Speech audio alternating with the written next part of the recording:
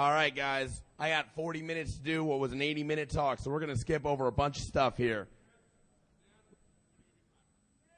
I am getting time? Sweet. Okay. Get, get, get me a note with the exact end time, put it on stage. Thanks. So, wh- who am I? Some guy. I do code. Who are these guys? Other awesome people. But I do want to say this. I was a theory that this was a patch that could not be reverse engineered because it was really weird. It was reverse engineered in 51 hours. So much for that theory. So, we had a bunch of people who were involved. These are the guys who did it. This is why. Yeah, I just took a lot of crap over the last month, over the last couple months, whatever.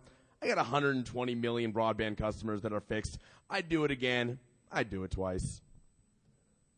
Fortune 500 is even doing okay. So, there are pictures of who's patched. They're pretty cool. Why all this work? So, who here does not know what DNS is? You might have heard a little while, okay, yeah, yeah. long story short, it is the phone book for the internet. The internet does not work on names any more than the telephone network does. You have to put a number in for any name. It is a distributed system, which means it's like voicemail hell where you keep getting bounced from one system to another. You start off on the root servers, you ask them for www.foo.com. System says, I don't know. But why don't you ask this guy over here? And then you go to the com servers and say, hey, do you know what www.foo.com is? And they also say, I don't know. But why don't you ask this guy over here? And you do this over and over and over again until you're finally out of voicemail hell and you finally actually get what you're looking for. This is called recursion, and it is a pain in the ass. Therefore, we dedicate recursion to a set of servers called name servers like Bind or DJBDNS or so on, where your host is just a client or a stub resolver. So what about the bad guys? If everything depends on receiving the right number for the right name, wouldn't a bad guy want his number returned instead? You try to go to Yahoo, you get a bad guy's number. You try to go to Google, you get a bad guy's number. You try to go to your bank, you get a bad guy's number. Actually, that sounds pretty damn cool. So, here's the question. So, you know, when the name server asks, say, ns1.foo.com for www.foo.com, couldn't the bad guy reply first? Couldn't he, like, just have his answer accepted? Oh, totally. The, uh, the way around this is called a transaction ID. It is a random number between 0 to 65,000 that allows the response from the legitimate good guy, the real ns1.foo.com, to be separated, disambiguated from the bad guy's fake reply for www.foo.com. So it's not perfect, but you know, the good guy's got an advantage. It's like 65,536 to 1. Those are some pretty long odds. And even better, when the good guy wins, well, he can say how long he wins for. Is this name to number mapping going to last a minute, an hour, a day? You know, one day times 65,000 races divided by two, that's like 84 years for the bad guy to actually win. That's a long time, right? So this was the entire concept of this draft, forgery resilience, and it basically said make your TTL as long as possible. This entire draft is a dare to the DEF CON community. Here's the problem. First, if this is to be a race between who can reply with the correct random number first, the bad guy has the starter pistol. Look, the good guy has to wait for the correct transaction ID to go over the river and through the woods to actually provide the good guy with, hey, when you reply, use number 8312. Yeah, the bad guy doesn't need to wait. He doesn't know, but he can just be like, hey, you, go, go look up www.foo.com. Hey, did you use transaction ID one? How about two? Maybe three? So the bad guy can always reply first. He may not have the right transaction ID, but he's getting there first. Second problem, by the way, first problem was kind of known. So is the second problem. Who said the bad guy can only reply once? The winner of the race is the first person to show up with the correct number. Nowhere does it say the bad guy can't try lots and lots of random numbers. So if he can try a hundred numbers, the odds go from 65,536 to 1 to 655 to 1, which are still long odds. And when he loses, he has to wait for the, the TTL. That could be like 655 days, almost two years. Or not.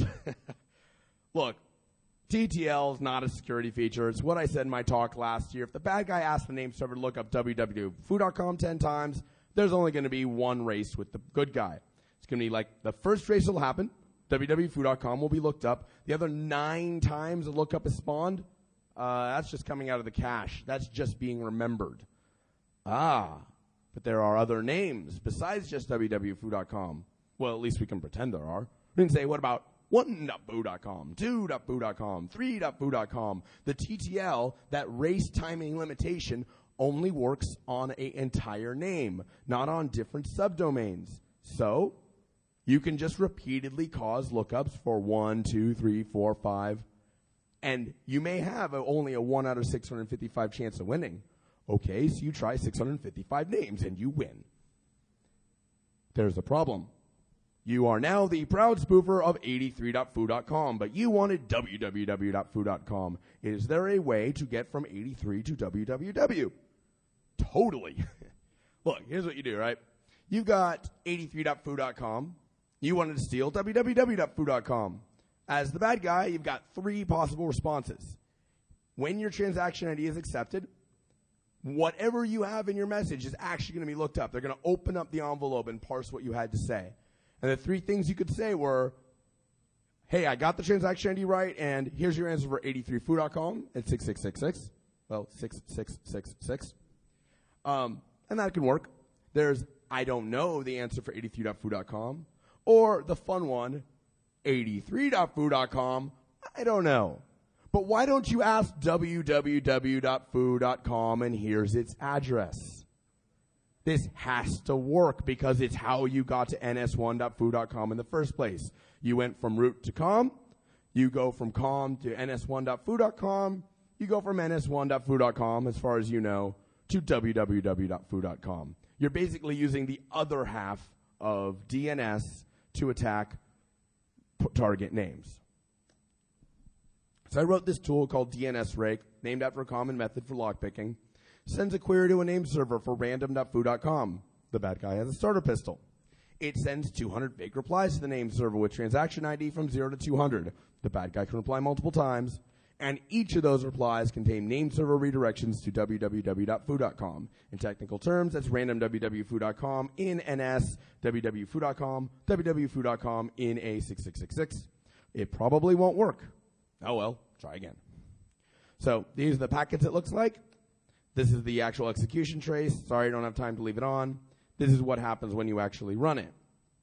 Now, this works against pretty much everything in wide deployment. Bind 8, Bind 9, MSDNS, Nominum, which is used in most of the ISPs, does not necessarily work against the rest of the name servers out there, but they're just not really out there, so does that count?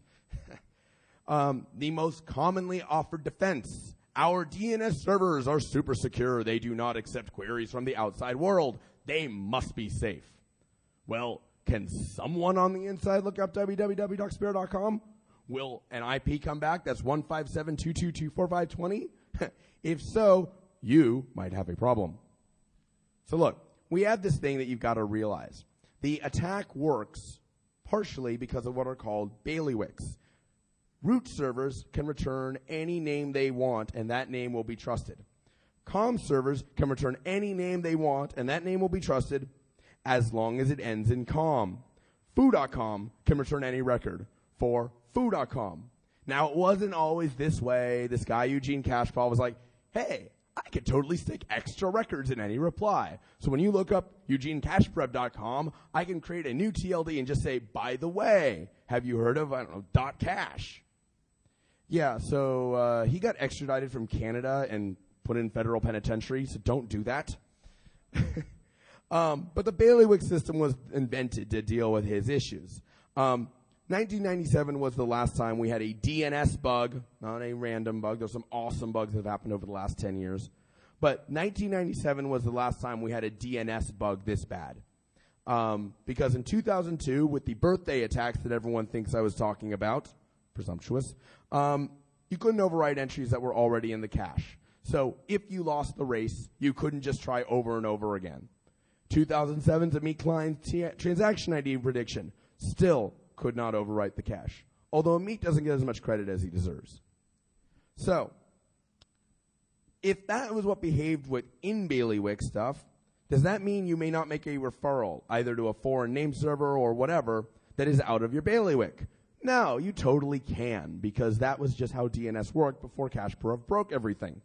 So what they did was they said, if we're told at foo.com to go look up something in bar.com, we won't reject it, but we will start from scratch. And we will go to the root and go to com and go to com and find the actual bar.com server and we will make our way back such that foo.com can have a referral to bar.com, but we actually know the real bar.com IP. That means whenever someone looks up foo.com, the foo.com server can force an immediate lookup to bar.com. It happens instantaneously. The bad guy has the starter pistol. So, what you do as the attacker is not cause random things inside behind the firewall to look up foo.com, because then you have a huge timing issue. You have to know exactly when it happens. Excuse me. You don't make them look up bar.com, target.com, whatever you're trying to hit, because that gives you a timing issue.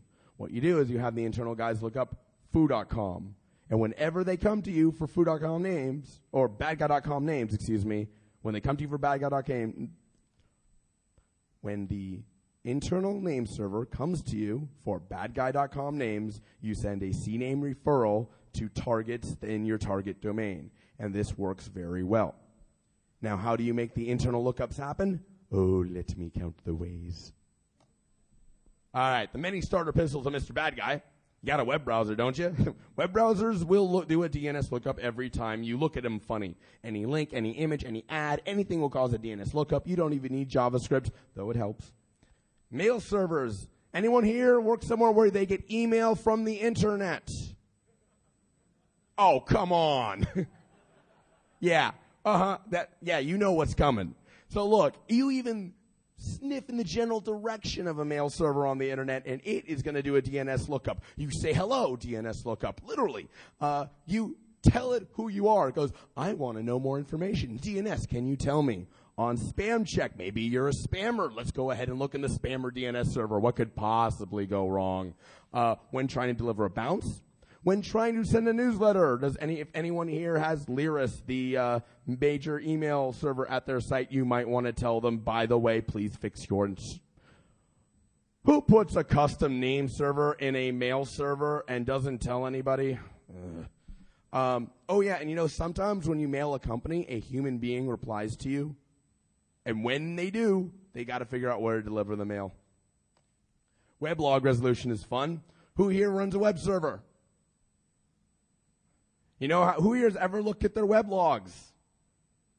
Yeah, yeah. So when it goes ahead and takes those IP addresses and turns them into names, uh, that's DNS lookups under attacker control. Uh, web bugs and documents, uh, you know, calling home is not just for privacy violation anymore. Uh, and there's lots of things in Web 2.0. IDSs are fun. You just make an IDS think you're an attacker and it wants to investigate you and thus do a DNS lookup. Uh, Roy Arend's trick was great. so you'd get a query from a Microsoft name server and reply with another query. Be like, it asks you a question. You go, no, no, no, I got a question for you. And it would totally go look it up. Like on the port. Send a DNS request on like port 58219. What? Um, you can spoof internal IPs from the outside network. This has no right to work, but a whole bunch of people have crappy router ACLs and think they're firewalls. Wrong. Um, so what did we do? Look, we went ahead and we said, look, we got an odds right now of 1 out of 65,000. We got to increase that. We got to increase that to between 1 out of 163 million to 1 out of, I say 2 billion, actually technically 1 out of 4 billion. This is an improvement. That's a lot of traffic to go unnoticed. It is not necessarily too much traffic, Mr. Russian physicist. We know.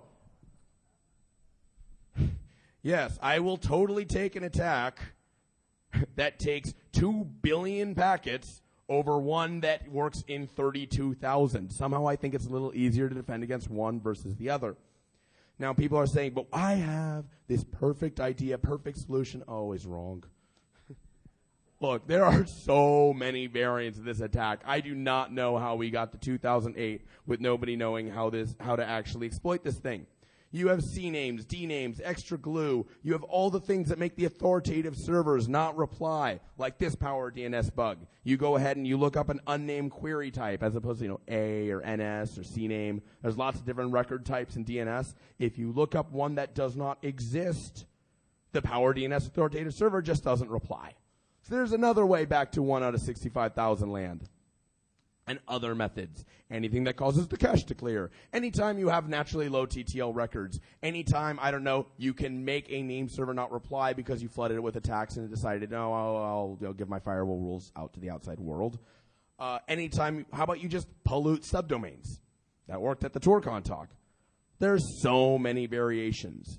The whole game was this. Look, either we do point fixes, meaning we try to fix this, we try to fix this, we try to fix this, and when we screw up, we're back to 32,000 packets to misery.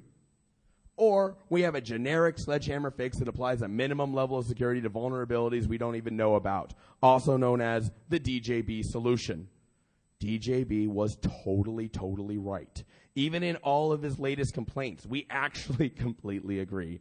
He's like, Dude, guys, this was 99. We need real crypto. Yes, we do.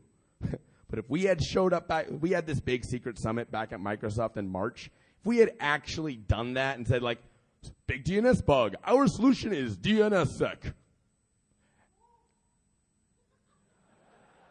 That's right. One happy guy in glee and the rest of you looking in horror. I'm not saying DNSSEC is not necessarily the right long-term solution, but it's sure not the right short-term solution. so, there's going to be a ton of solutions offered. You know, people are going to talk about lots and lots of things, and we've broken most of them. but look, I will tell you this. All the things that are, you know, we'll do a little, we'll, we'll get this name server online and this name server online. Unless the root servers and the COM servers, in fact, all the TLDs are either backwards compatible or code migrated to your solution, it doesn't matter. Because I don't care how secure ns1.foo.com is if I can pop a.gtldservers.net. Because what do you think told me to use ns1.foo.com in the first place? So I've got a blog entry at my homepage, www.doxpara.com, that just talks about all the other things. The long and short of it is, we figured out everything else was broken in at least some way. We'll figured out that we're going to need to fight through this for like some period of time. And in the meantime, let's not have a 32,000 packets of doom. So there is some stuff from the client. I don't want to go too much in depth on it because I've got all sorts of fun server attacks. But I do want to say this. Um, there was some research a while ago about predicting the, the transaction ID in the client. Given ID 1, given ID 2, you could determine ID 3. And everyone said, that's nice. If you're ever in a position to learn ID 1, you don't need to predict ID 2. You know ID 1, you can reply first. So this bug is BS. Why did Microsoft fix it in April in the April MSRC patch? That was ridiculous. No, it was the right thing to do. And here's why. For you to spoof a response from a DNS client to a DNS client talking to its local name server, you have to get two things right. The UDP source port and you have to get right the transaction ID. How do you know source port? Well, when you make an HTTP connection to someone before April MSRC, that connection would say go out on source port 10,000 zero. And you know what, uh, what port the next DNS request would happen on? 10,001. Oh, so that's pretty easy. But what about the actual transaction ID? You can't treat DNS in isolation because everything uses it. So, when a DNS reply happens, you get two things. You get a HTTP request going out, when immediately, where, wherever the bad guy says it is. Hang on.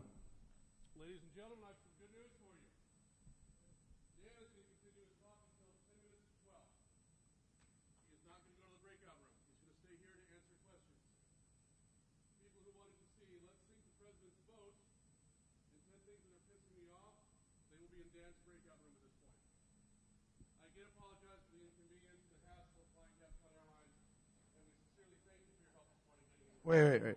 Priest. When, when do I start? I'm sorry, 10 minutes to what? Oh.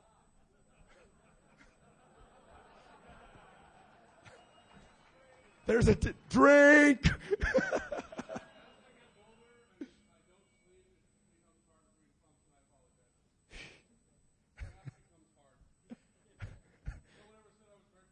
All right.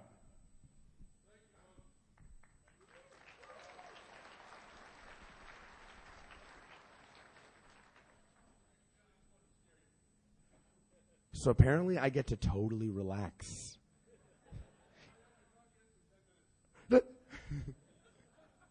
All right, so this apparently means that I get more time than I had at Black Hat, which means I get to have a whole bunch more fun.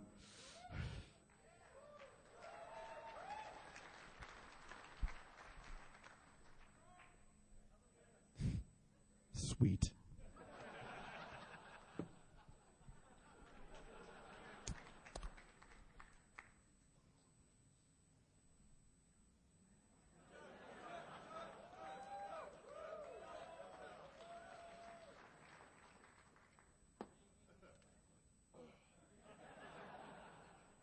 Ow.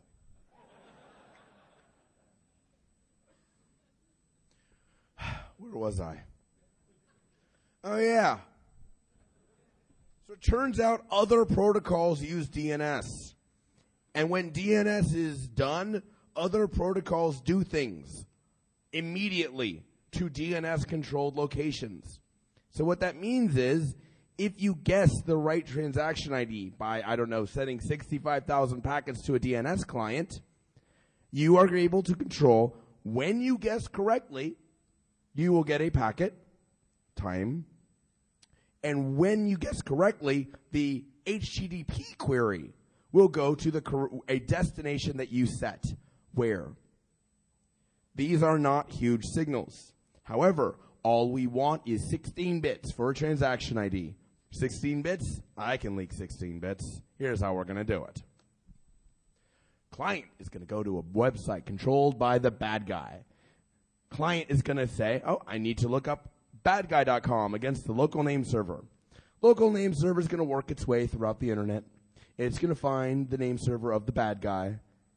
And the bad guy is not going to reply to the local name server. It's just going to sit there. So, local name server is waiting and waiting, waiting for a reply. They can't do anything. So, client is just going to sit there waiting, waiting, waiting for a reply to. And they're just going to sit there, open port, open transaction ID, just waiting. Now the bad guy does something, but doesn't send any packets to the local name server. Bad guy sends packets directly to the client. Knows what port to use because it leaked through HTTP. Doesn't know what transaction ID to use, so he tries them all. On average, in 32,000 packets, he will guess the correct transaction ID. If he doesn't guess in time, oh well. But he eventually will guess correctly. Now, there's a couple signals here. Timing when the HTTP connection arrives, because that's what happens when you finish a DNS reply to a web browser, you get an HTTP connection. Now, if you have a, say, a three second window and can disambiguate time by about 100 millisecond chunks, you get about five, maybe six bits of data. But you can try over and over and over again. Also, when you spoof that reply, beyond just timing information, you control the location that the web browser is going to go to.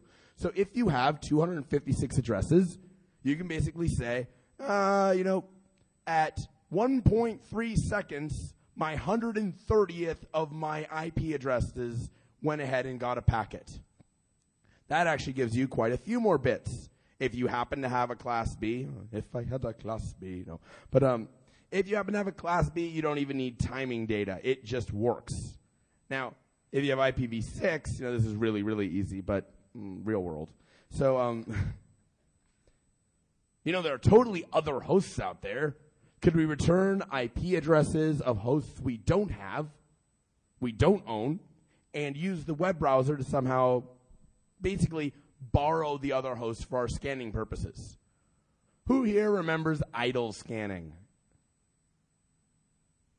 Dogs right. Let's check it out. Idle scanning is all about you find 64,000 boxes on the internet that never get traffic. But when they do, you can tell because their IP IDs change on return packets. So, you go ahead and you cause some local, some client to send a packet to one of 65,000 servers. Then you go to all 65,000 servers and say, was it you? Was it you? Was it you? Was Eventually it would theoretically work. Idle scanning worked really well when it was figured out. Now there's all these bastards scanning the internet, screwing up idle scanning. Sorry. Then I was looking at pointer pollution. You know, uh, oh, when an IP address communicates somewhere, there'll be like a reverse DNS lookup. That wasn't reliable at all. Anyone here ever gone to a talk with uh, Billy Hoffman? Uh, Billy does bad things to JavaScript. And at some point, I just needed to do the Billy Hoffman option. So here's the idea. I would return one of 64,000 web browsers, one of 64,000 web servers to the client. I wouldn't know which one the client would get, but whoever it got would be under a domain I controlled, meaning I could read back from the web browser, hey, which page did you get? That actually works fine. And you can do that either directly with content or by looking at what happens to document.cookie. So basically, I'm using JavaScript to eventually pick out DNS transaction IDs. What could possibly go wrong? Of course, it's way easier with my attack. Basically, you don't even try to guess the next transaction ID. Just force repeated lookouts for name, fill in whatever answer you want. And this is actually the exact attack implemented in the field, hodnsspoof.c from psychopod at yahoo.com. I don't know if ZMDA is his group name, but good job. Uh, initiate sequence to trigger a DNS lookup by the ADNS resolvers and the same range of spoofed DNS IDs and a constant flood spoofed as the primary DNS server. So it's not theoretical. Uh, Psychopod totally did it. Uh, this was about three or four days. Let's see. Was it the 25th, 26th of July? Somewhere around there. Good stuff. Uh, DNS clients have never been the focus of this work, though, because it attacks one box. Would you rather attacks one or, you know, everyone? So we've been focusing on server. Is that it? No, you know, that's, that's, that's how to attack DNS. But that's not the interesting question. The interesting question is why to attack DNS. Because this, this is where things get embarrassing because wow, wow, we've been doing a lot of crappy things on the internet for a long time. So check it out. Let's start with the TLDs. It is in fact possible. Yeah, you start with poisoning the TLDs. That's right. Uh, yeah, don't don't bother with poisoning foo.com or Google or Yahoo or whatever. Just poison everything. uh, directly, you can poison it by changing the NS record off of COM. Indirectly, just poison agtldservers.net, bgtldservers.net, cgtldservers.net, and so on. Now, when the bad guy poisons COM, he gets all requests, even requests that he didn't know in advance that he wanted. Because remember, when you go to the root, you don't just ask, what's the next COM server? Say, I'm looking for www.foo.com. So when you poison higher in the DNS hierarchy, the name server comes to you and says, hello, would you like download.microsoft.com? Would you like it for 10 days? Would you like it for 10 hours? Would you like to only take Microsoft? Would you like to take only the specific name at Microsoft? You basically get complete control. You actually get asked what you want to poison and for how long you would like it be poisoned for. Crap. um, the obvious first step to do from here is MX Intercept. MX Intercept, it's not just for the NSA anymore. Um, mail is special. It's special to the point that it has its own DNS record. It has an MX record. You can tell not only does someone want to speak to foo.com, they want to send an email. The attacker can actually pick off which names or which mails it wants to take and which ones it doesn't, can silently intercept, then let the mail run off to its own destination, or can interfere. Here's where we get into real world how things get popped. Okay, about a third of all attacks come from direct user action. Loading a document, downloading and installing malware. The game is to get compliance from the user to assist in executing the attack. And since users want to see dancing pigs, this is not necessarily that hard. But even your best user, even your most trained user, even the user who doesn't want to see dancing pigs still needs to get work done. And work is done by exchanging documents and exchanging executables and exchanging zip files over email. So, if you're a man in the middle and you see a document going by, you don't interfere with it, or you don't block it, you don't even just read it. You infect the document en route. When it arrives, the user's like, well, I was just having a conversation with Bob, and here's the contract that will get me a bonus this year. Open, open, open. Shouldn't the spam filter stop? When the man in the middle does intercept, it is in fact true that the actual inter- the actual manipulation is now going to come from the IP address of the bad guy and not necessarily the IP address of the real name mail server. Now, you might say, but the spam filter will catch this. How do the spam filters work? Someone just said poorly. That guy gets a beer. so, uh, yeah, you end up being able to hijack spam filters. You can actually go ahead and like block mail from arbitrary domains now. How great is that? So, I'm not going to go fully into the voice over IP stuff, but um, SIP ain't looking too good either. SIP ends up using SRV records out of DNS, and it looks like the invite and register messages can even get say, "Hello, Mr. Phone over there. Please go ahead and look up this name." Starter pistol. Zane Lackey's been looking into this.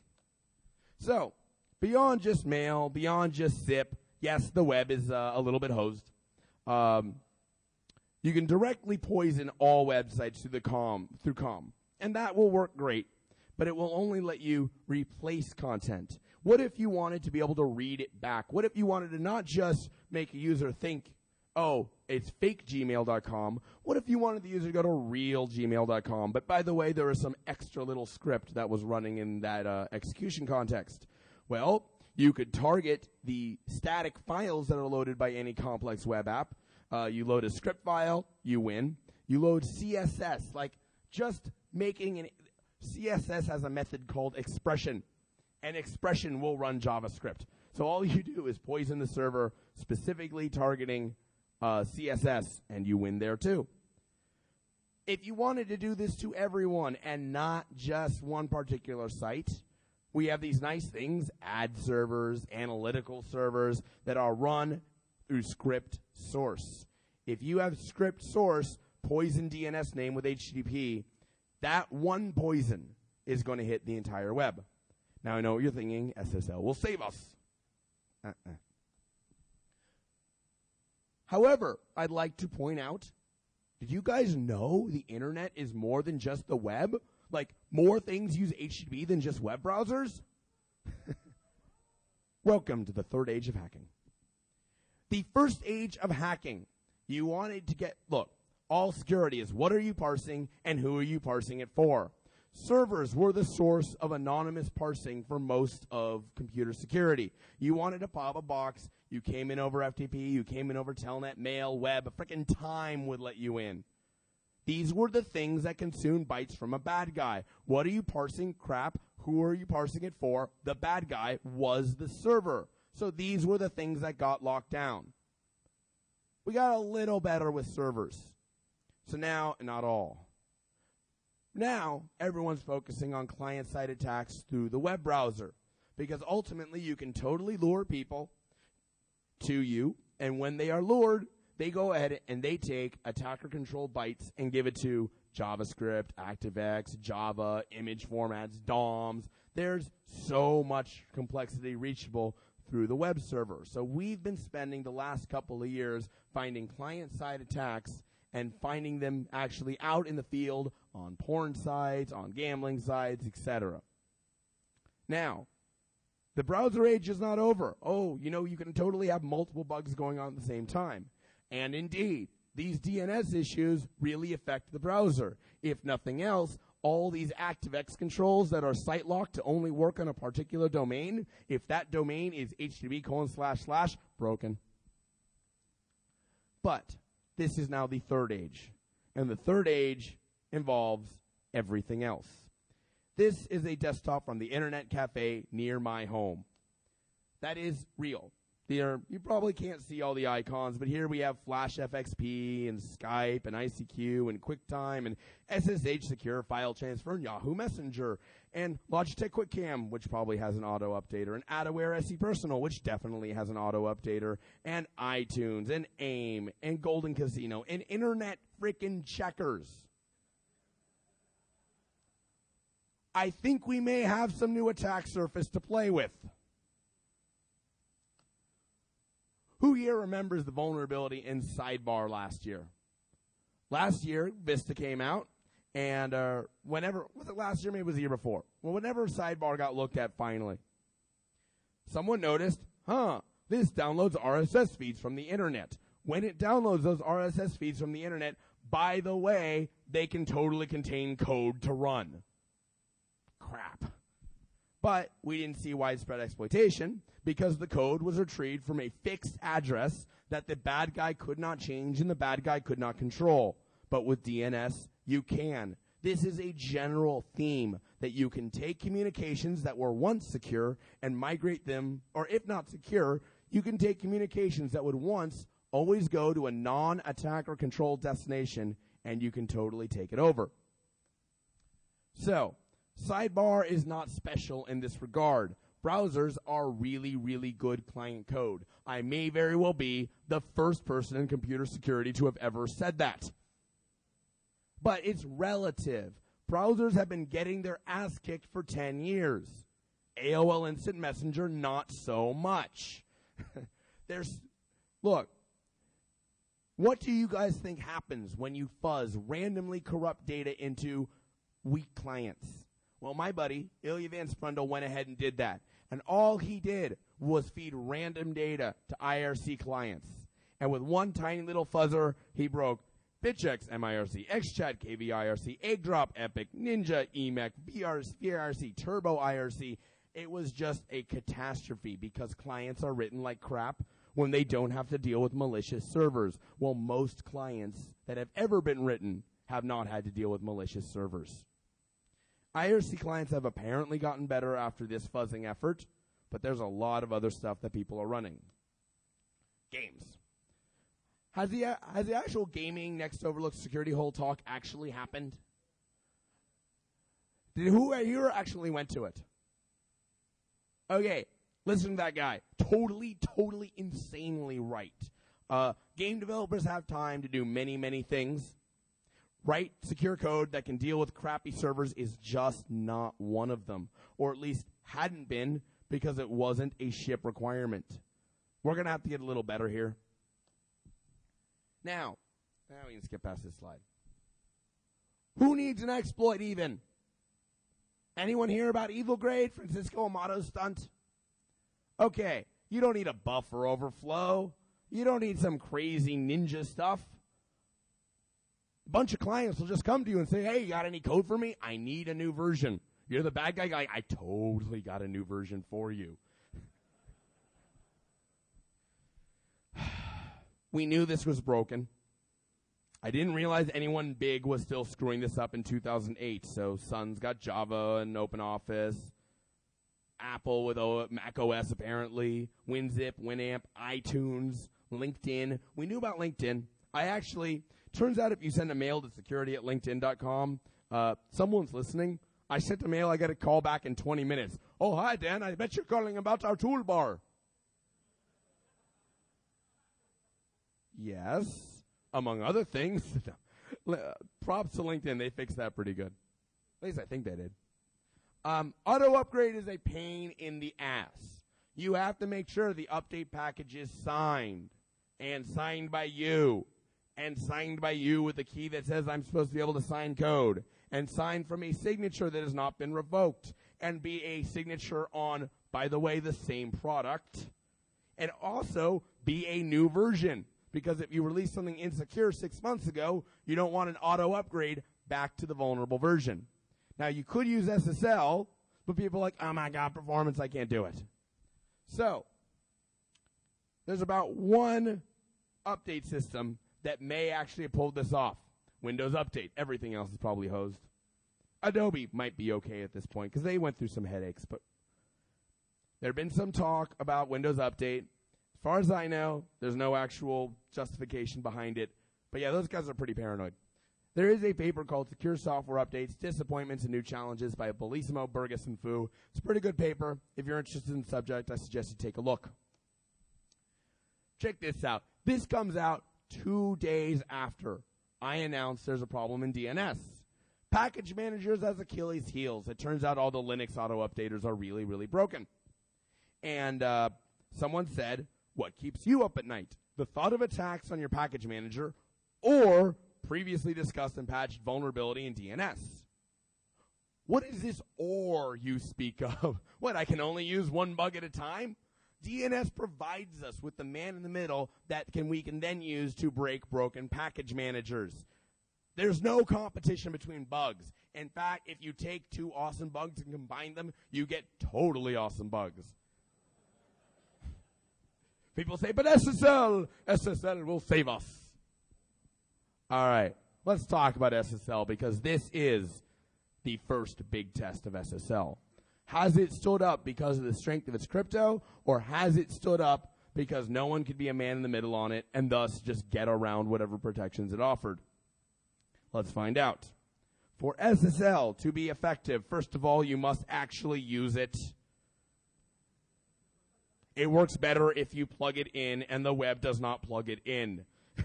it, SSL is not just kind of the exception, it is barely existent on the internet right now. How many executables will you personally download insecurely this week? And remember, attackers can pick and choose what domains to snipe. So everything can be perfect right until you hit that download link from the one server that provides those downloadable executables. And then you're going to the bad guy. And you think people stopped using FTP? I didn't. FTP is still all over the place. There's foreshadowing there. I may not even go into it. Second, SSL. You must never downgrade. Too bad, downgrade is a fundamental way behind most of the way we use SSL on the web. You go to a www.foo.com and HTTP, and the web server says, oh, you totally should have come to me securely. Here, let me upgrade you to security. Now everything is great. You know what the bad guy does? Not that.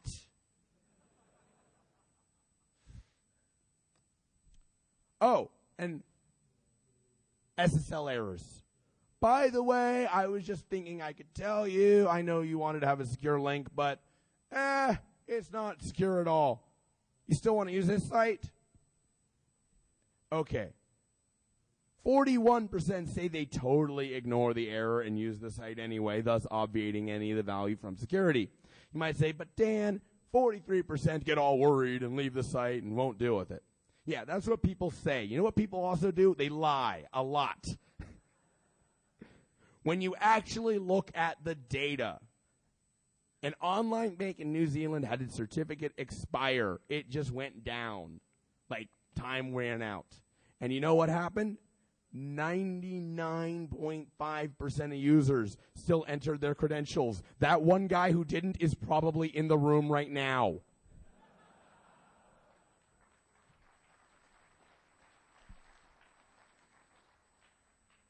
Data suggests the DNS based attacker has a remarkably high chance of actually winning. You must actually check to see if the, the certificate is signed by someone hey, look, guys, I have a secure connection to the bad guy. So, uh, I may be scanning the internet every once in a while, all the time, never stop. But, um, I took a look at some SSL data. 327,467 SSL certificates were scanned. And I just took a look and said, I don't even want to see if the chain is valid. All I want to see is that they're even pretending to be signed by someone else. Or if they're just saying, Hi, I'm me. Why? Because I said so. 140,355 SSL certificates because I say so. That's not security. now you might say, but Dan, at least there's a browser error. You know, if legitimate use has a browser error, I think the user is always going to click through 100% of the time. And hey, what about the things that are not browsers? What about other applications? So, I was going to talk about other applications, and then, hey, Mike, why don't you come up here? And then, then I started hearing about someone who'd actually looked into real applications, like SSL VPNs. Now, everyone, this is Mike Zusman. Say hi, Mike. Hi, Mike. Somebody here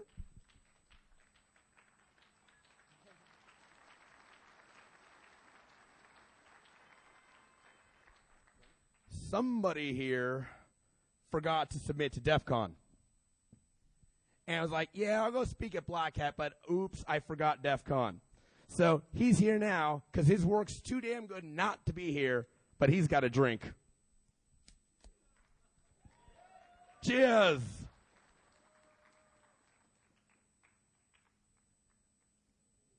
Nice. All right, Mike. Why don't you tell?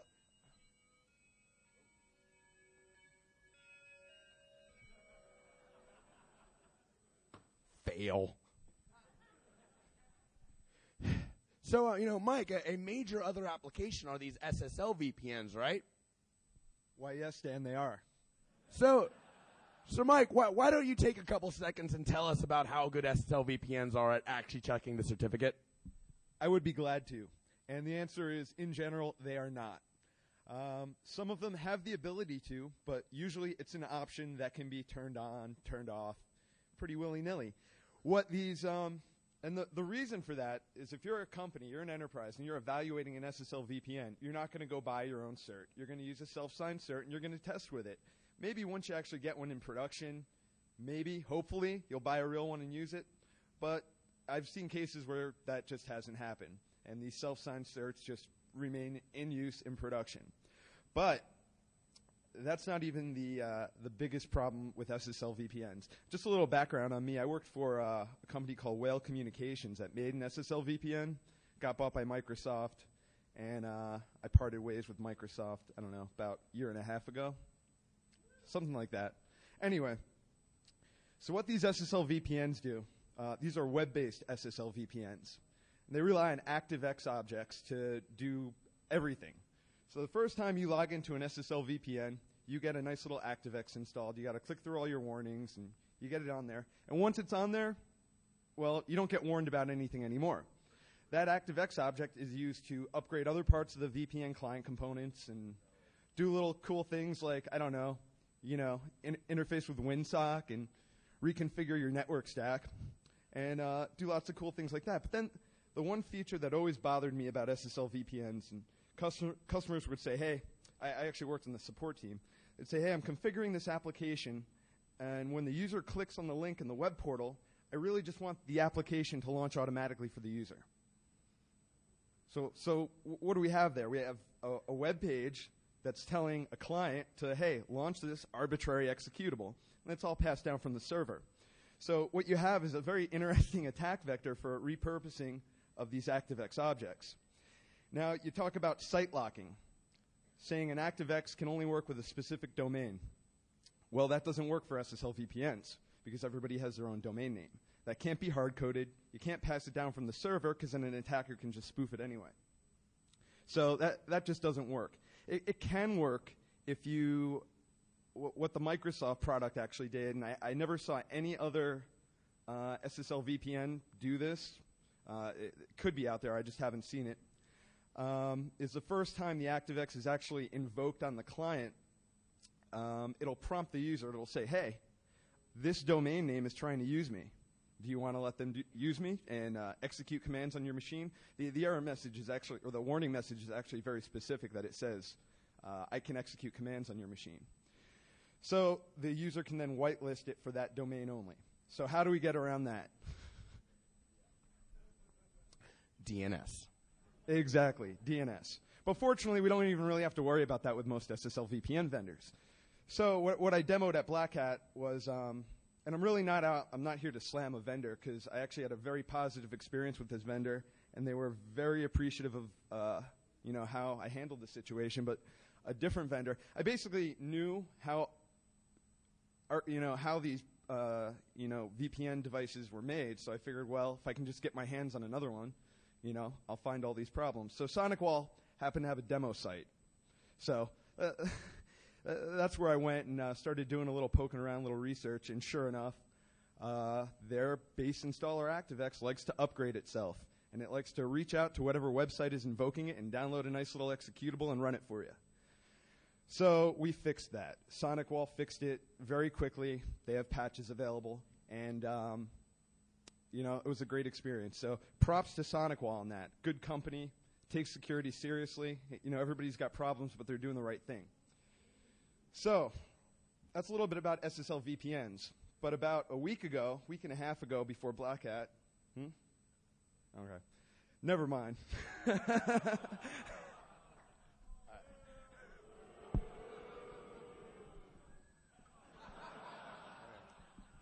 Who did you get a cert for?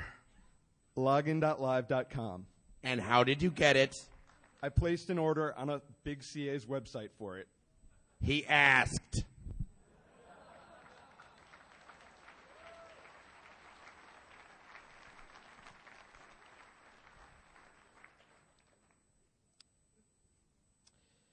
But don't worry, SSL will totally save us all.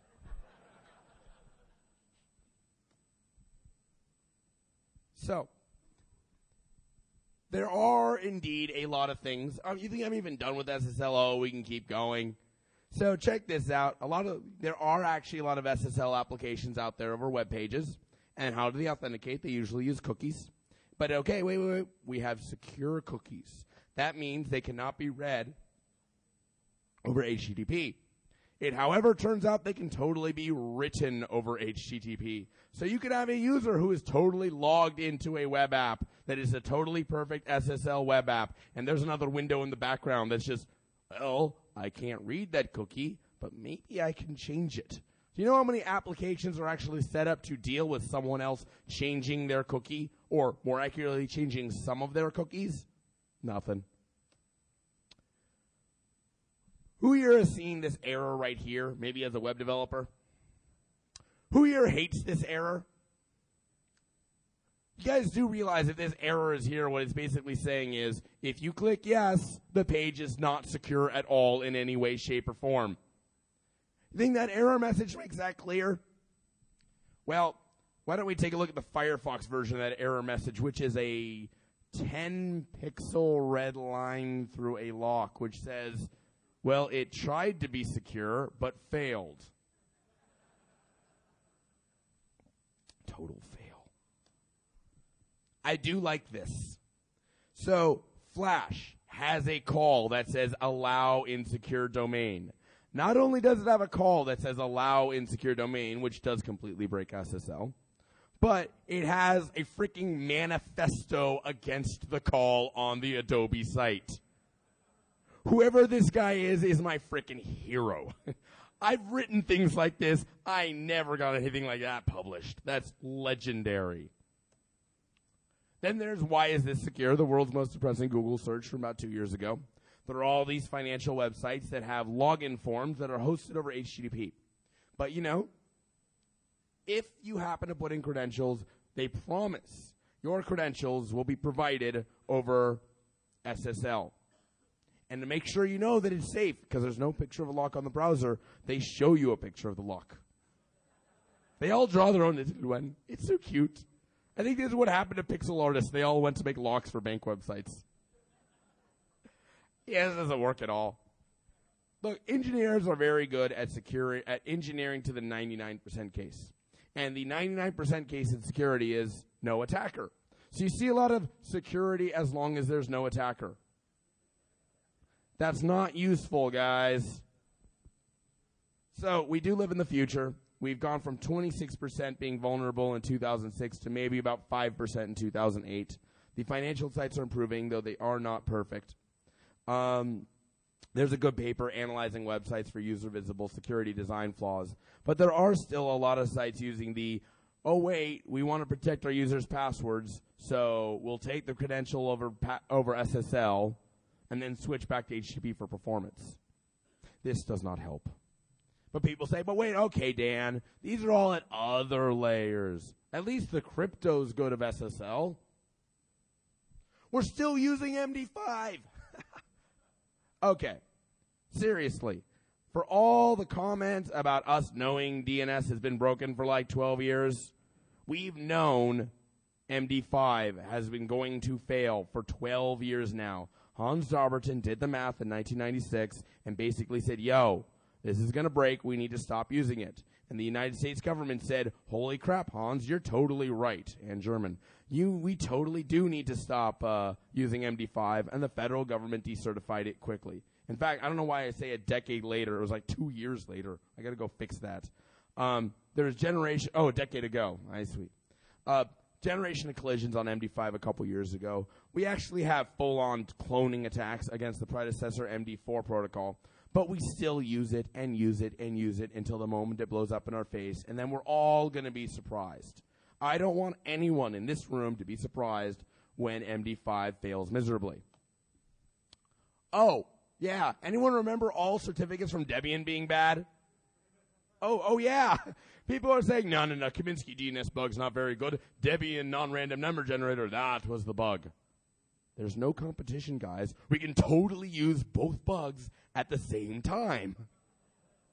Look, first you go ahead, you sweep the net, you find all the certificates out there that were generated by Debian. But by the way, signed by legitimate certificate authorities. Don't worry about revocation. That doesn't actually exist.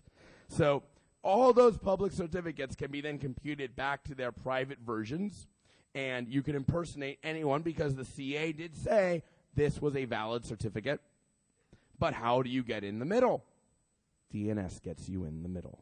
So you combine the Debian NRNG bug with the new DNS flaw, and all of those sites that were once using a Debian generated cert are actually un- near unfixably vulnerable for five years. How nice is that? So, we've known all these things about SSL. I know what you're saying. You're saying, oh, this is all old stuff. Blah, blah, blah. Show me something new. Ha ha. All right. Why do you think SSL certificates are valuable? Although you might not now that Mike's told everyone, you can just ask. but assuming you can't just ask, anyone can buy a cert, anyone can generate bits. What prevents any of you, besides Mike, from uh, generating a cert for www.microsoft.com? Well, look, CAs sell bits, but there is some meaning. There's an identity, and they want to sell, say, I don't know, me. They want to sell me a cert for Doxpara.com, but not any of you. Well, what's different between us? Well, they send me an email. So, domain validation, the way it works, the way they make sure that they give a certificate to the right person is first, they look up the domain and WHOIS, which requires a DNS lookup. Then they send an email to the email address on file, which requires another DNS lookup. Or they visit the web page and look for a file, which requires maybe a third DNS lookup. Guess how secure SSL certificate delivery is in the face of a DNS attack? Not.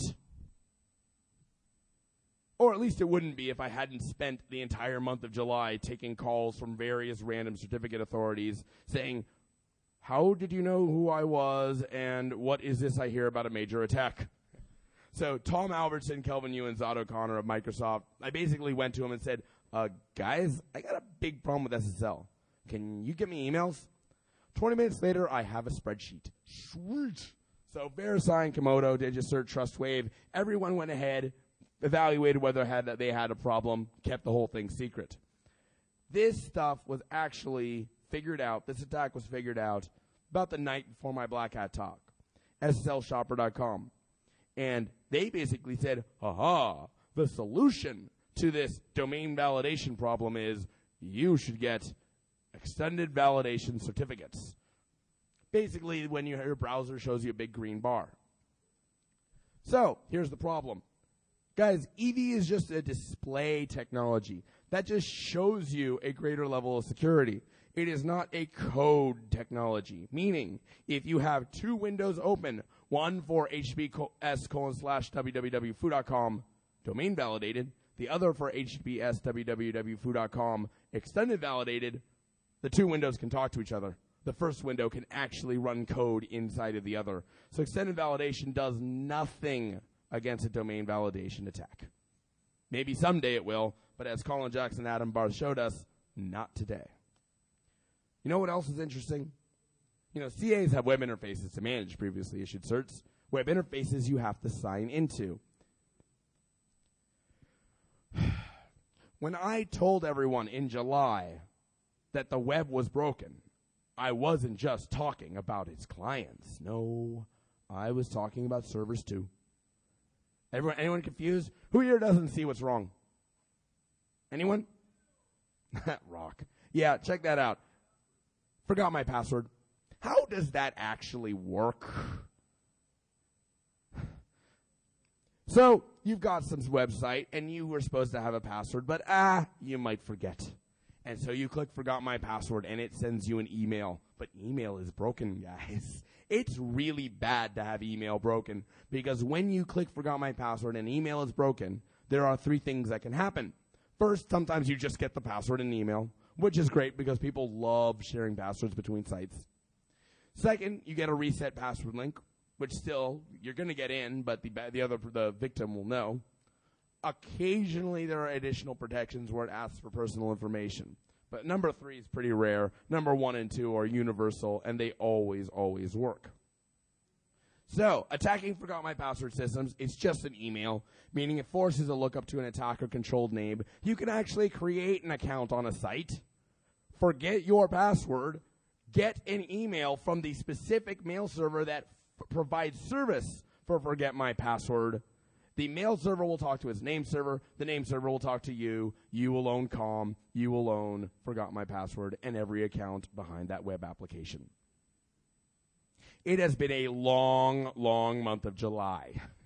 So, I have spent all of July on the phone with Google and Live and Yahoo and PayPal and eBay and MySpace and Facebook and LinkedIn and Bebo, Craigslist, LiveJournal, High Five, and Citrix. Freaking GoToMyPC.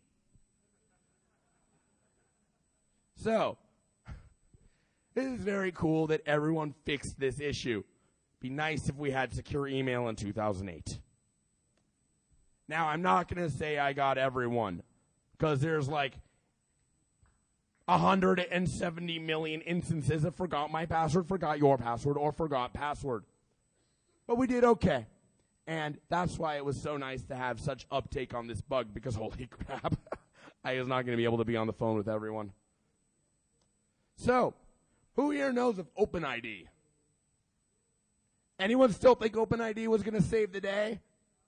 Yeah, yeah, yeah. Look, look, here's a conversation for OpenID. Hi, I'm Fred. My friend, my friend can vouch for me. And then Stickus over here goes over to the identity provider and says, "Hey, dude, is that really Fred?" Identity provider says, "Sure is." Stickus says, "Welcome to Stickus, Fred." Yippee! Well, would that have helped? Um, how did Stickus here find identity provider here? That's right, DNS.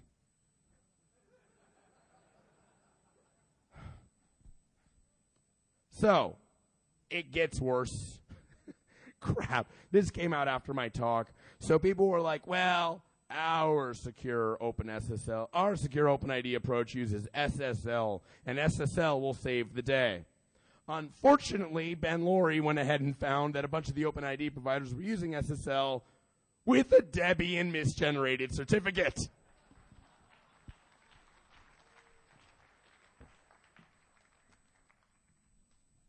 This is a total, I will be the first to say the DNS bug is a totally lame bug, but my god, it changed good. So, right about now, you're probably thinking, alright, clients are hosed, Web 2.0 is hosed, but my intrawebs are safe. Are they? Are they really? Well, let us discuss the inconvenient matter of reverse DNS. We also own ARPA. Those are words I never thought I'd say. So, uh, ARPA is the in-addr ARPA is a space that when you look up 1.2.3.4 returns abcd.com. Now, what can you do with this? Well, the obvious thing to do is spoof log entries in Apache. We've had bugs in this for a while. The Apache double reverse lookup log entry spoofing vulnerability. Apache basically gets an IP, looks up the name, and then makes sure the name goes back to that particular IP. Um, well, you know what? We control forward DNS. We control backwards DNS. We just win. So if you're building a system, do not just log the name that DNS tells you because DNS can lie. Log the name, log the IP address. There's also some interesting possibilities if you can fake a numeric TLD. I don't know that this will work, but I wonder if you can say that 6666 is in PTR, is in reverse lookup of 1.2.3.4. Then it goes, wait, wait, wait, let me look up 1.2.3.4 in, you know, as an address. I'm going to say there's a .4 tap double domain. and its address is 6666. So you might actually get like log entries that appear to have an IP address that is just totally, totally faked. Um, you might say, but Dan, this is probably stopped by client-side APIs. Never presume an API is ever smarter than it had to be to ship. It rarely actually is. More reverse DNS, uh, SQL or script injection via client targeted reverse DNS. Uh, responses from reverse DNS are often thrown into a database. We knew about this. And the input is not necessarily sanitized when put into the database, but most name servers do some kind of sanity checking. But we have attacks that get around name servers. We fake the name server, and the client libraries tend to suck. So we can go ahead and say, oh, hey, uh, you want to insert something in your database, uh, uh, you know, XP command. How you doing? To be honest, this is probably pretty unrealistic and painful to execute. Who here was at my talk last year? It all works again. So, last year, what I talked about was how to use DN. I need to get some beer here. My throat kind of hurts. All right, look. Last year, my talk was all about hey, we have the ability to get connections from a web browser that are not actually HTTP. We have plugins, Flash, and Java that are giving us TCP, and in Java's case, even UDP access to the networks that we're on.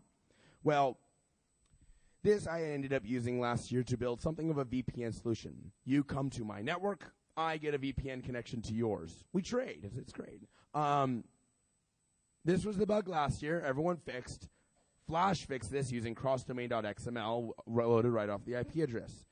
Java fixed this by looking in reverse DNS, which we own. So we get all the good stuff now again. Um, we get full TCP and UDP access, but from any browser in your organization to any host behind the firewall. Bonus, your link is fully IPsec authenticated and encrypted because the web browser gets to play in full IPsec. Um, you don't get to go ahead and communicate with 127.001 in general, but you get everything else. John Heasman figured out how to get 127.001. Now, spreading the fun.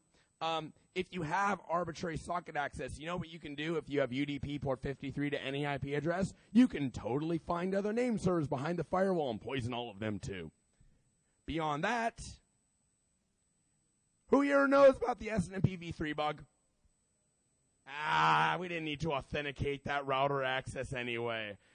256 packets and you get into any router. That sucks. Um, so they, they fixed that, sort of. But you know what else you can do from Java at the web browser is you can spoof SNMPv3. Well, not spoof. You can just say, "Hey, I've got a message. Uh, are you a router? Would you would would you would you like me to uh, authenticate into you and reconfigure you?" so yeah, things that are bad because of a stupid little DNS bug. DNS to Java, Java to SNMPv3, SNMPv3 to more ownage. All right, all right. Enough with the client bugs. What about servers? Are they vulnerable? Interesting question. Which would you rather own, BGP or DNS? Ah, there's a four o'clock talk for the other half. So check it out, right? Look, I'm looking at BGP and I say BGP controls the flow of packets already destined for the internet.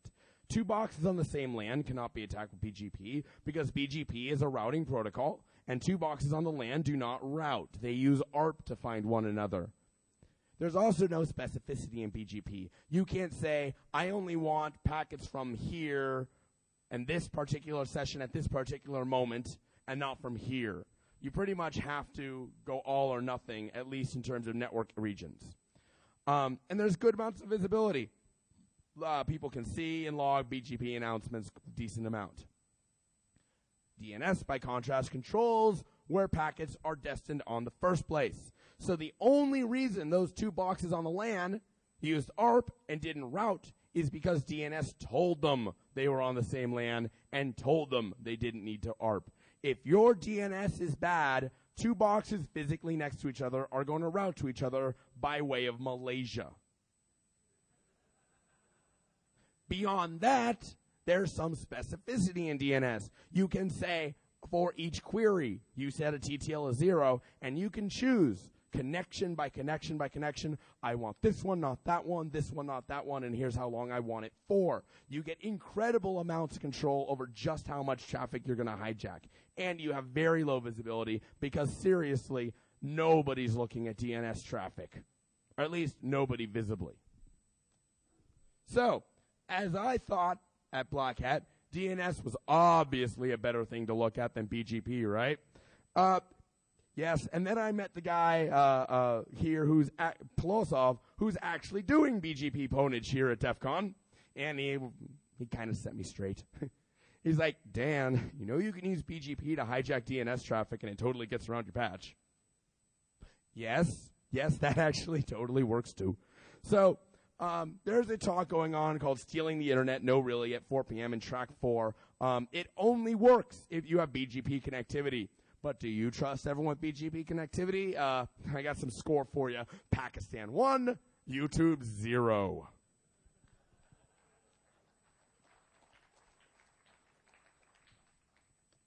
So there is some difficulty. You cannot poison authoritative records on servers, at least with the DNS rake attack. Now you can poison clients. You can have the client go ahead and think that there's a record that you're then going to own, but the server side, it's you. This is a cache poisoning attack. If a server is configured to be the authoritative server for something, it's not loading it out of the cache. It knows the answer. Other caches come to it. So, a lot of there are places, there are a number of places where people are talking to only primaries or secondary authoritative servers. So there is a infrastructure called isolated split brain where individual desktops just never ever ever do DNS to the outside world. These things are really really safe. Active Directory is pretty heavy on primaries. It's pretty safe. There's no cache to corrupt there for internal names. Um, that's the big thing. I mean, everyone's thinking about DNS cache poisoning for like Google.com. Yeah, try your internal servers. It's the one time in history that the flat names that Windows use are actually a security benefit. um, split brain environments are heavy on forwarders, which are somewhat safe because you don't know the destination of the forwarder. Um, however, if you have internal name servers that are going out to the internet, that are going off to some public store for names, there's no split brain. It's just on the internet you can get internal addresses. It's game on. Because when anything goes to the internet server to find out what the internal company IP address is, that's not going to be the internal company address anymore. So, what can happen when internal DNS goes bad? Oh my God. so, network engineers have been awesome, right? They've been complaining that the patch is slow. They've been complaining that. How much time is it? Okay. They've complained the patch is slow. They've complained the patch is hard. The patch conflicts with NAT. The patch is a pain in the ass. But what they haven't said is, we don't need to do this. You know why? Because they totally know how long they've been ignoring the security community. they know what kind of trouble they're in. That's why it got patched so much. So, Telnet behind the firewall? Oh yeah. SNMP behind the firewall? Yep. Authentication servers. You think that's your radius server you're talking about? No. Backup restore, the SOA architectures, which resolve back to names. It's DNS that actually tells you the address that is the next hop for your internal data processing. Back-end databases. This was a tweet by this guy, Shawn Moyer, who was actually at Black Hat. He's like joking. He's like, oh, I think Dan was talking something about DSNs. Apparently, Document found a way to hijack everyone's ODBC connections or something. Shawn was joking, but that actually works too. I'm like, sweet, I, I another entry here. Awesome, thanks, man. I can has your SQL queries. Come up and grab a drink. All right, look, and even if internal DNS is hard to hit, external dependencies are totally fair game because there are so many connections between companies. DNS controls how servers find each other. Now that link might be secured if SSL is used. Is anyone actually checking certificates? Because that ain't a freaking, uh, what is it not? Yeah, that's not a browser, so it's probably not checking certs. God, it's depressing that that's true. Uh, IPsec is great. People use IPsec to connect between networks, and IPsec rules are triggered for particular routes. Routes are tied to IP addresses. DNS controls what IPs are used. If DNS is corrupt, you may not go over the VPN in the first place. DNS changes destination subnet, therefore DNS can get around IPsec validation. Ah, so someone said, that's why you use X509 certificates and pre-shared keys. I'd like to point out how practiced a reply that was, because everyone gets it wrong. So, um, ultimate external dependencies, payment processing or offsite backup. Now is not a good time to have an insecure link to your offsite stores. I'm not saying anyone does, but if there's a scintilla of a chance, patch, patch, patch. Uh, SNMP into the against the internet. Somebody is using SNMP to log into machines on the internet. You're probably using DNS to find them. If you would like to not provide the SNMP community strings and access codes to the outside world, you might want to make sure your DNS is fixed. Also, you're parsing ASN1 from the outside world. One of the things we learned in 2002, which is one of the last big patching efforts, ASN1 parse. ASN1 is probably the mo- world's most miserable protocol in the world to parse. Servers might have gotten locked down, but this is the third age. Your clients better be good too. Search engine optimization is always fun. there's search engine optimization, and then there's owning Google's DNS. Yeah. And then, who here has ever put files on a content distribution network out of curiosity? Um, like Akamai or Limelight. You ever wonder how that actually happens, where they get the data in the first place? Well, you provide the CDN and HTTP URL which uses DNS, pulls down data, and hosts it to the internet. It would be really, really, really bad if Akamai or any of the other content distribution networks had bad DNS. So, it has been a uh, an interesting ride through what a stupid, lame.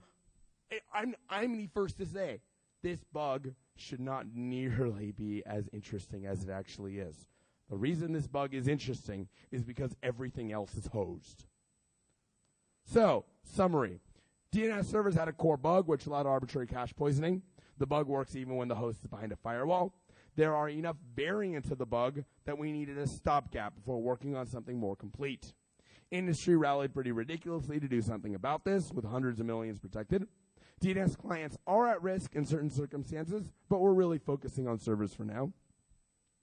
We are entering, or perhaps holding back for a little longer, a third age of security research where all network apps are fair game, where the online games are at risk, where the instant messengers are at risk, where IRC is at risk in the real world. Auto update itself, which is all over the place, is repeatedly being done really, really badly. SSL, which is supposed to save the day, every time you look at it, it shoots itself in the face. The in fact, SSL certs themselves are dependent on DNS. Um, DNS bugs ended up creating something of a skeleton key across all major websites, despite independent implementations. Internal networks are not excluded because the only thing that keeps things internal is DNS. And from the effects of Java, hey, look, we get full TCP and UDP access back behind the firewall again. Your firewalls aren't doing much right now either. So, Finally, we're not even populating CDNs securely. How do you think every, everything else is going? So that's kind of what this talk's been about, and that's why I did a month of went through a month of all of this stuff. There are some people that said it was a lot of hype, and you know what? There was a lot of noise because oh my god, people needed a patch. They actually, really, truly did need to patch. All I said is there was a bug. People called BS on me. This was my reply. Lessons learned. We have got to get better at fixing infrastructure. We got really lucky with this bug. We had an amazing number of people, not just me. All I did was find a bug and tell people they needed to fix. If you look at the actual hours that I spent on this versus all the IT administrators in the world, even the companies that wrote the patch, if I have 0.001% of the hours invested, I would be shocked and appalled. Everyone came together to fix this thing this time. But the next bug is not going to be this smooth because, frankly, there's just going to be so many more people involved because it's not going to be the kind of thing that can be kept secret for this long. We need to have disaster recovery plans that include how to handle the discovery of a flaw in any mission critical code anywhere. We need to have processes that say your router may get owned and you have 24 hours to patch and you have to know how that's going to work. And if you need to re architect things, you need to.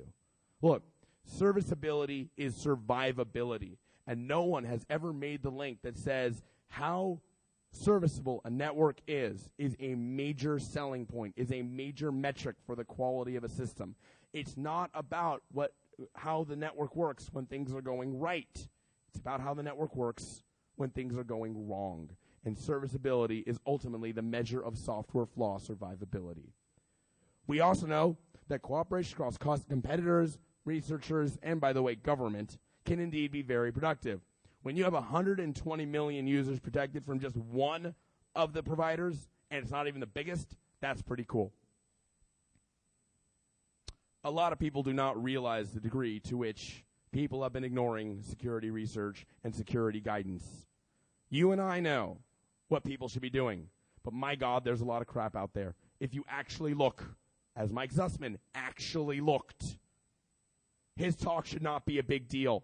His talk should have been known for years. But I was shocked. So we're doing a lot of things insecurely. And even with DNS fix, there are a lot of scenarios in which unencrypted IP traffic is lost to the attacker. There is no saving the internet. There is postponing the inevitable for a little longer. And every one of you, as a security person in this field, get out there, get people to fix their stuff. It's the only thing we can possibly do to help. And that's what I've got. At least that's what I've said for now.